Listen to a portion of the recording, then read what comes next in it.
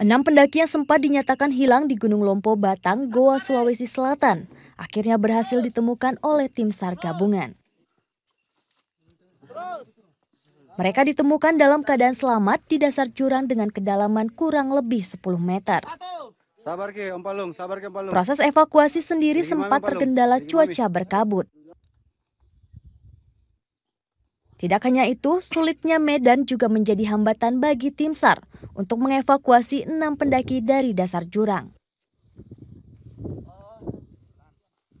Baik, untuk hari keempat ini kami telah melakukan uh, melanjutkan pencarian atau melanjutkan evakuasi terhadap enam korban yang uh, ingin dievakuasi di Gunung Lompo Batang, satu orang yang patah tulang.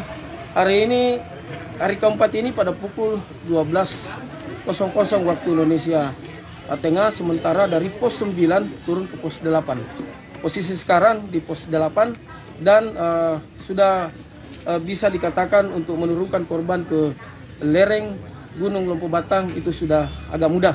Dan sekarang untuk situasi dan kondisi di lapangan sudah mulai terang dan tidak hujan lagi. Enam pendaki ini sebelumnya sempat dinyatakan hilang kontak sejak hari Jumat lalu. Tim SAR pun akhirnya bisa menemukan para korban setelah empat hari melakukan proses pencarian.